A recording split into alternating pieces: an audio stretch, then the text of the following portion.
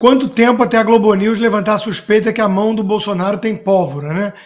Olha só, falando mais uma vez das explosões agora à noite lá na Praça dos Três Poderes em Brasília, prometi que assim que tivéssemos novidades traríamos. Então a gente já tem aqui alguns fatos novos, alguns outros desdobramentos, como por exemplo uma postagem que foi feita pelo ministro da AGU, o Jorge Messias, no X, no antigo Twitter. Pode colocar, Cláudio, por gentileza. O ministro declarou o seguinte.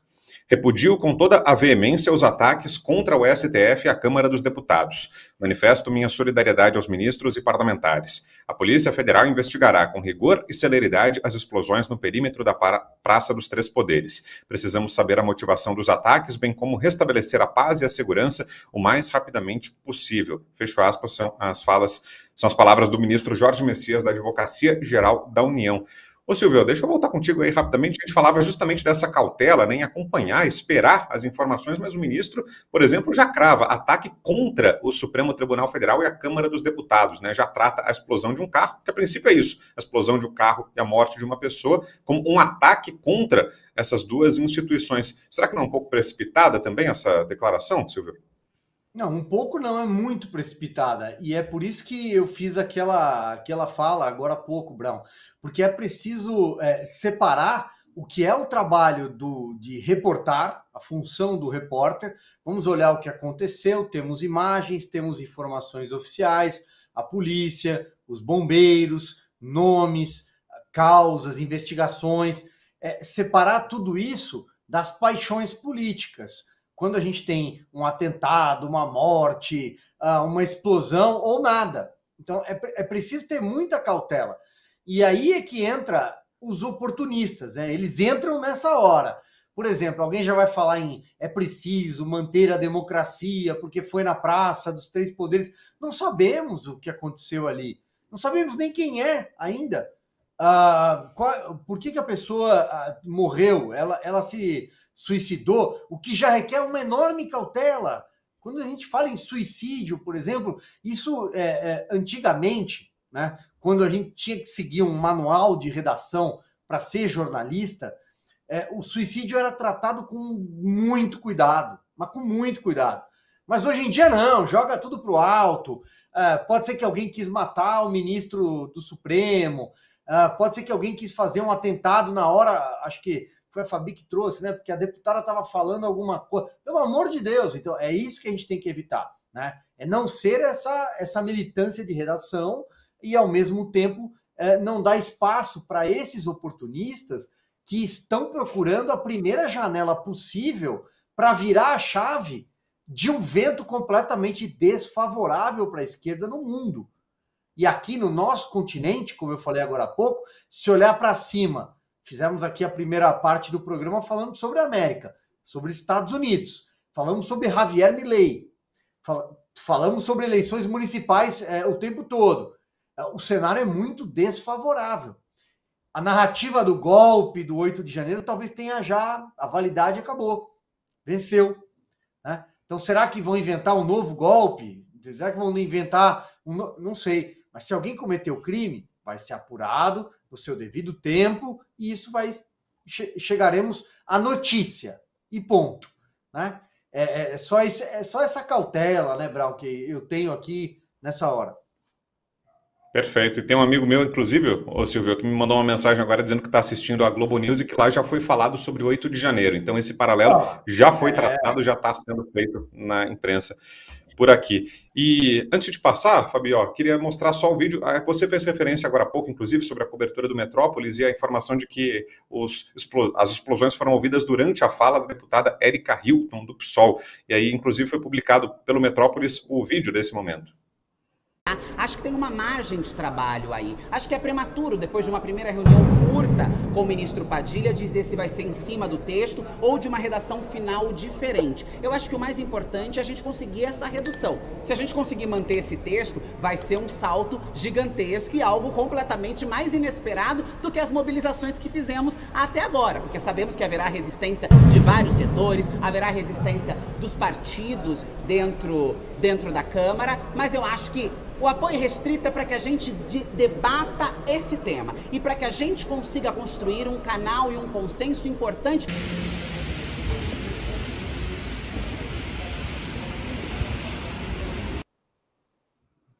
Tá aí, né, Fabi? Vão ficando as associações, especulações, né? Apenas. Mas dá para ver claramente que a deputada, enquanto falava, é uma coisa que a gente realmente não espera no Brasil, que eles ouviram, né, teve que vir o segundo, talvez o terceiro som para prestarem atenção. Porque não sei vocês aí em Brasília, mas aqui em São Paulo é, tem fogos o tempo inteiro e são barulhos muito parecidos. Então, para a gente, é, cidadão comum, ter noção que isso realmente é uma bomba, é um explosivo ou algo assim mais sério, demora. Mas é chocante a gente ver isso no Brasil. Agora as narrativas já começaram. Infelizmente, vão é, de vez promover a justiça ao 8 de janeiro, talvez ainda tente requentar aquela história absurda de que tentaram um golpe no Brasil. Né? Não, não tentou, daquela vez não foi. Dessa ainda vamos aguardar. Espero aí que a polícia esteja apta e que as câmeras, né, que foram é, negligenciadas aí exatamente desses lugares agora estejam em pleno funcionamento, que elas possam responder as perguntas que já temos, né? Como chegou essa pessoa, porque as câmeras são pagas para isso, para dar transparência, investigação e manter a paz, né, que merece qualquer cidade do mundo e uma cidade como Brasília. Algo mais consta? vamos em frente? É, duas coisas, né? Primeiro, é, quanto tempo até a Globo News levantar a suspeita que a mão do Bolsonaro tem pólvora, né? É, e, e, a segunda questão é a seguinte: é aqui o, o Mafinha trouxe aqui. Agora vamos ter o maravilhoso momento onde as mesmas pessoas que dizem que o Hamas não é um grupo terrorista vão falar que o terrorismo chegou ao Brasil. O Brown, eu não tenho muita dúvida, mas tenho muito receio, né? De que isso vai servir, seja lá o que aconteceu, se foi um suicídio, se foi um acidente, se foi o que que foi, isso vai servir de pretexto para essa turma que está aí de forma muito autoritária já perseguindo a direita com a narrativa do golpe do 8 de janeiro, com prisões políticas, censura, que eles intensifiquem e muito o que já é coisa de distopia, que é coisa de regime soviético. A Stasi Tupiniquim vai usar esse caso a seu favor, preparem-se. Boa, voltando aqui à nossa pauta, e olha, tendo atualizações a gente fala, repito aqui o que já falamos, né? A gente vai evitar esse sensacionalismo, não tendo informações, a gente não vai fazer especulações, e é isso que se tem por enquanto de dados, de informações, de fatos, e aí, tendo alguma novidade, a gente volta a trazer aqui. Vamos para o nosso próximo assunto, que é o seguinte: o FRJ no escuro. Universidade tem luz cortada por falta de pagamento. Após corte de luz por falta de pagamento, parte dos alunos da Universidade Federal do Rio de Janeiro terá aulas nas áreas externas do campus do Fundão. Segundo o reitor, a suspensão no fornecimento de luz também afeta áreas do Museu Nacional, o que a Light nega. Silvio Navarro, começar aqui contigo, Silvio, meio acadêmico que foi tão entusiasta da candidatura de Lula, agora sofrendo com os efeitos da má gestão, né, Silvio? Eu acho que todo mundo, né? Todo mundo que fez o L, todo mundo que apoiou, né? Que fez campanha, até a Janja é, é acabou entrando nessa história. E quando a gente fala da Federal do Rio de Janeiro, o, Constantino é, é do Rio de Janeiro pode até falar que ali tem uma militância enraizada. Né? Então, acho que todo mundo que participou é, dessa onda agora sofre com as consequências de um governo ruim de serviço. Aliás, um governo que não começou. Eu não sei se quem está acompanhando a gente, Brown, é, sabe dizer um feito, uma boa ideia dos 40 ministros do Lula. São 40. Alguém sabe dizer uma? uma boa ideia. Pega, vamos falar, ah, as áreas centrais, saúde. O Brasil é o país que tem dengue de verão a verão, né? Um caso raro no planeta de dengue de inverno e exportação de mosquito para o Paraguai, para a Argentina. O Brasil é o país uh, que temos imagens que lembram a Colômbia, já, já quase um narco-estado, né? Da, da época da década de 80, dos cartéis de Medellín, Bogotá, Cali. Uh, o Brasil não tem nada na área da educação. O que temos? Fecharam as escolas cívico-militares, ou melhor, é, tentaram fechar, alguns estados absorveram. Não temos uma solução para a grade do ensino médio.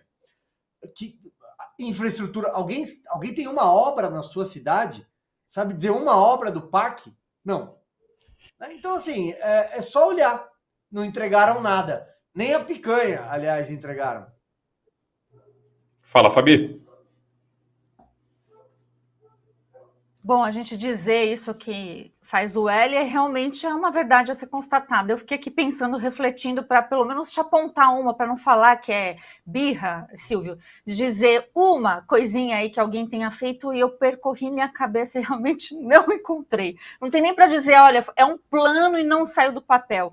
Infelizmente isso não ocorreu. Por que infelizmente para nós? A gente já está diante do governo Lula, é uma realidade, mas eles estão deixando tudo muito largado. Então, as principais áreas aí que você falou, né, segurança, saúde, educação, a gente sabe que, a, primeiro, é, as universidades federais do Brasil inteiro são aqueles lugares onde tem gente hoje completamente ociosa, então se gastam dinheiro para fazer pura militância. Infelizmente não era assim, né? na minha época aí todo mundo queria passar é numa faculdade federal. E a gente tem o quê? A conclusão do que sempre foi alertado, de que é preciso diminuir o Estado, que é preciso diminuir esses gastos, porque vai acontecer isso. Vai acontecer igualzinho está acontecendo nas faculdades, vai acontecer em prefeitura, porque na hora que o prefeito tiver que passar o Pires para pedir dinheiro para é, federal, para tentar pagar suas próprias contas lá como 13 terceiro de funcionários, não vai ter, porque não tem da onde tirar. Aliás, tem de onde tirar, né? Se aumentar impostos, que isso, ou taxas aí, que a gente já sabe que o, o Taxad, né, o Haddad, é muito bom nisso. E ninguém fala em cortar gasto, ninguém fala em levar uma política fiscal a sério no Brasil. Eu me lembro no comecinho que eu falava, olha, não tem mais teto. Aí, de repente, falou: não, mas não tem nem mais a âncora fiscal, a gente não tem mais nada. Então, isso é reflexo de uma política que ó, é só gogó e que ninguém aguenta mais. O brasileiro está bem cansado e eu espero que daqui, né, em 2026, a resposta nas urnas seja tão grande como foi nos Estados Unidos, onde a mídia pregava dia sim, dia também, né, de que a esquerda e que tudo isso era maravilhoso com seu dinheiro. Espero que o pessoal acorde, porque o nosso dinheiro está fazendo nada. Pois é, né, Consta? Eu lembro que pouco tempo atrás, não sei se essa ainda é a realidade, federais eram consideradas centros de excelência, né? Quando um jovem contava para a família que ia para a federal, era algo comemorado, né? Mas hoje que a gente vê é isso, né? O ensino, não sei qual é a qualidade, né? Se continua bom, mas ainda a estrutura sucateada, faltando luz, militância, proselitismo político. Também isso se perdeu, Consta? É, virou um inferno, né? Tem o antes e depois da federal. O sujeito vai para o UFRJ de um jeito e sai de outro. É, é uma coisa triste, né? É, agora, quanto a esse apagão e tudo mais, eu quero lembrar aqui que a Petrobras, né, doando uma fortuna para o, o Janja Palusa, né? Quer dizer, é, é, um negócio. A Petrobras e a Eletrobras, ou não? A Itaipu, Itaipu. alguma delas. Itaipu. Itaipu, né? É. Trinta e tantos milhões, é isso mesmo? A soma da Itaipu deu 15, por exemplo. Loucura, né? Então, assim, é isso aí, o, o Brown. O Brasil realmente tem que dar um reset, é, tem que dar um boot, porque é, é triste demais comentar essas notícias. Bom, e vamos falar do caos na saúde, o Silvio mencionou, e hoje tem uma notícia ainda mais preocupante, além de tudo isso que o, o Silvio mencionou, outra notícia ainda tão preocupante quanto essas. Olha só, governo Lula tem recorde de vacinas jogadas no lixo.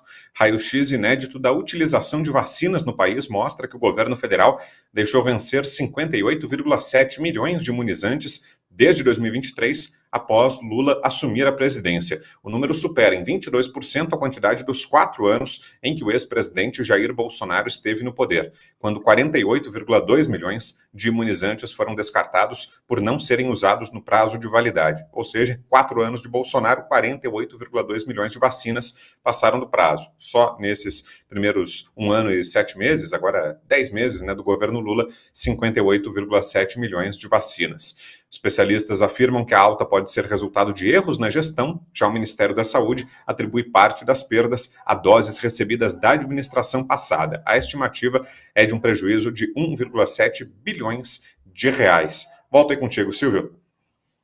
Não, eu estou tranquilo e seguro que as páginas dos jornais amanhã uh, tratarão o presidente Lula da Silva como genocida. Eu vou abrir a página 2 da Folha de São Paulo e vou ler artigos, porque eu quero que Lula da Silva morra, porque eu desejo que Lula morra, ou então uma coluna só com é, xingamentos de mais baixa.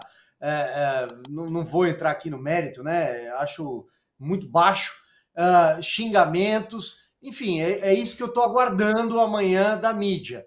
É, chamar o presidente de genocida, é, adjetivar com da mesma forma que fizeram com o presidente Jair Bolsonaro. E, ou não, ou não vão pedir a demissão de nenhum ministro.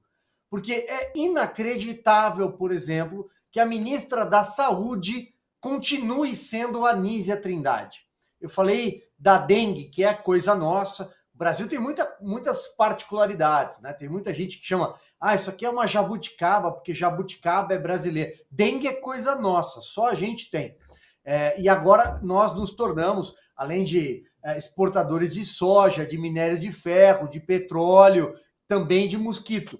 É, a Argentina e o Paraguai estão sofrendo com isso. Se você pegar outros países que têm condições climáticas, geográficas, como o Brasil, é, não acontece. Por que, que acontece aqui? Porque são ruins de serviço. A ministra Nízia Trindade não se pronuncia sobre vacinas desperdiçadas, falta de insumos, insumos para portadores de comorbidades, uh, medicamentos, as prateleiras estão vazias nos postos de atendimento. Mas ela não aparece. Ela chora quando leva um puxão de orelha no colo da Janja, né? Porque elas são é, melhores amigas de muito tempo. Dizem até que a Janja é, tem a Nízia Trindade e o Alexandre Padilha como as duas cotas dela na esplanada. Será que esse país vai ser levado a sério algum dia? É a área da saúde. Com saúde não se brinca. Um ano inteiro com os postos uh, completamente uh, lotados de pessoas uh, doentes, com dengue, inclusive, já que estamos falando de dengue. E ela continua sendo a ministra. Ah, mas o Lula se vacinou, né, Brown? Na rede privada, eu acho, né? Contra a dengue. É isso.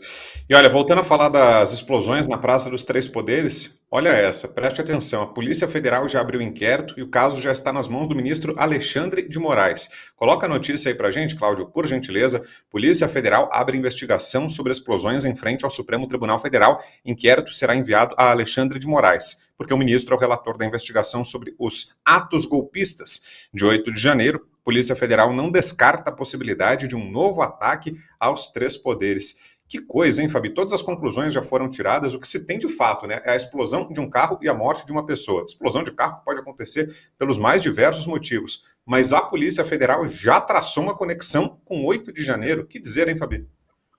Exatamente, vou até pegar aqui literis, o que está escrito no site do G1, dizendo, né, porque a gente sabe que eles têm informação privilegiada, então abre aspas aí para eles, o diretor-geral da PF, Andrei Rodrigues, está com o presidente Lula no Palácio da Alvorada e informa, em tempo real, tudo que está sendo realizado na esplanada. Então a gente já tem essa conclusão de que haverá, obviamente, tem que ter um inquérito para apurar essas explosões em Brasília. Tem uma pessoa morta, mas antes que não tivesse, tem que abrir inquérito, e sim, é do âmbito da Polícia Federal. Mas já ir, o inquérito já ir, né, para, para o ministro Alexandre de Moraes é um tanto estranho, né, para não dizer outra coisa, que a gente não pode falar muito sobre esse assunto. Mas, gente, o, qual seria o natural? Né? Vamos falar do que, do que deveria ser a lei. É, depois disso apurado, aí se isso é no âmbito do Supremo, não é porque, porque não aconteceu somente lá, não foi nas dependências do Supremo, foi em frente, foi no setor, na negócio, é, área pública em si. E também aconteceu na Câmara dos Deputados, então, né, foi as notícias. Então, não dá nem para aplicar aquele risco lá, o, o, o, o regulamento é, interno deles, o, o, artigo 43, que diz, né, que eles podem apurar, e, então não, mas ela pode ajudar a polícia, é, a polícia do STF. Mas agora já já entendeu, não se trata disso, se trata de quem é o dono do Brasil e de quem deve investigar qualquer ato.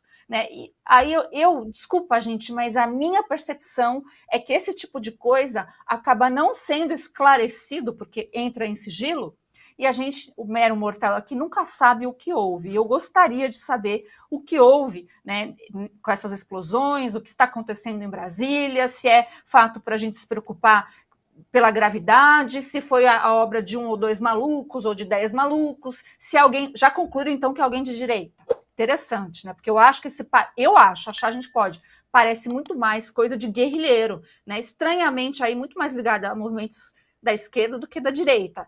Naquele 8 de janeiro não teve bomba, tá? Vamos deixar bem divididinho. As bombas foram em outros dias que teve lá em, é, antes do 8 de janeiro e esse pessoal está preso, e esse merece estar tá preso. Esse, vocês nunca vão, vão, ouvir falar nada, os que tentaram explodir um aeroporto, né? Então, é nessa linha. É realmente impressionante é, essa capacidade de nos insultar, pelo, pelo menos a nossa inteligência.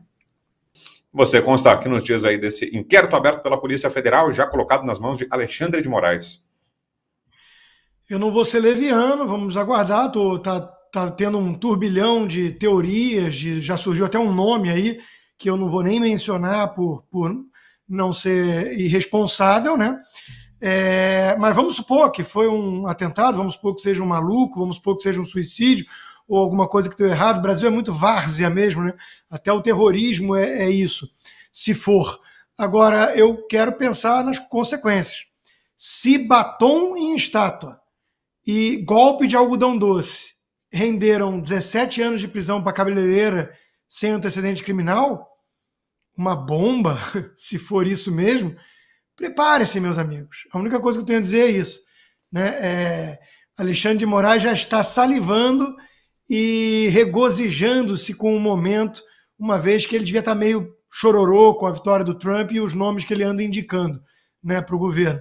Então, isso aí é, digamos assim, um boost para o Alexandre de Moraes e para a turma do STF para poder voltar ao protagonismo de salvadores da democracia, taxando todo mundo de terrorista e justificando pesca probatória, prisão arbitrária, censura e por aí vai.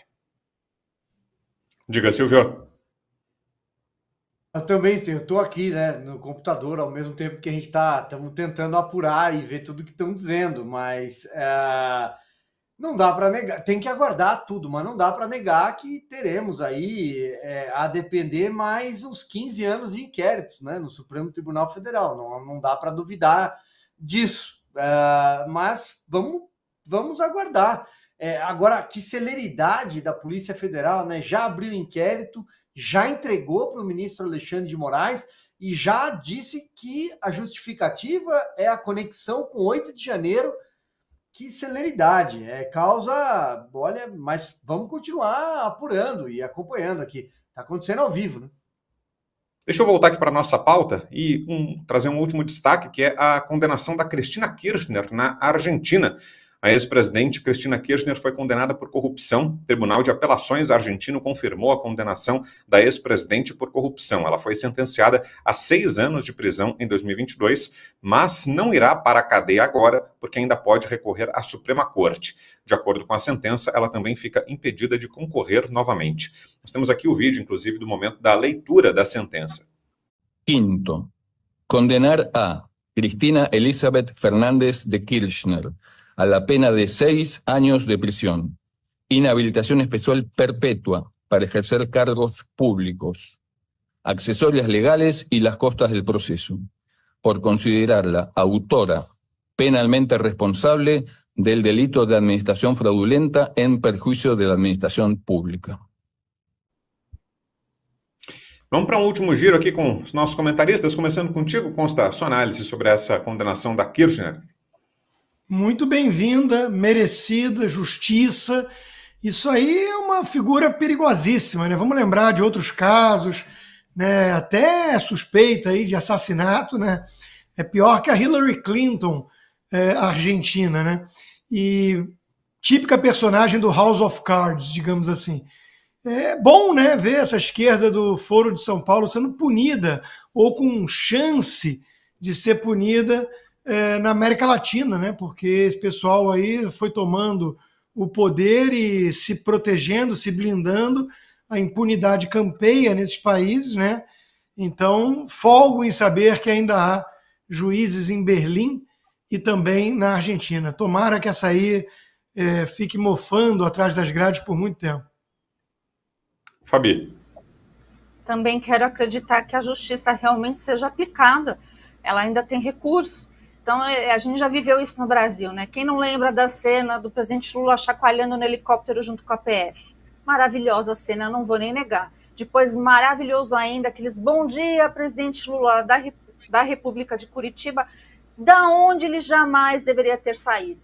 Dito isto. Eu digo mesmo para Cristina Kirchner Vamos acompanhar aí, porque parece-me que a Argentina está adotando um papel um pouco mais eficiente né, em suas políticas espero que a justiça esteja incluída nesse pacote. Então, Milei, fica de olho aí né, e converse com os juízes para que se aplique a lei. Pois é, Silvio, e assim como no caso do Lula, né, aproveitando esse gancho da Fabi, a Cristina Kirchner também teve os seus apoiadores, a sua militância hoje em Buenos Aires fazendo um ato de apoio em frente à casa dela. Então, mesmo com a condenação por crimes graves, corrupção, muita gente ainda não abandona, né? Os fanáticos ainda não largam a mão da Cristina Kirchner. Lembra muito que teve aqui também, né, Silvio?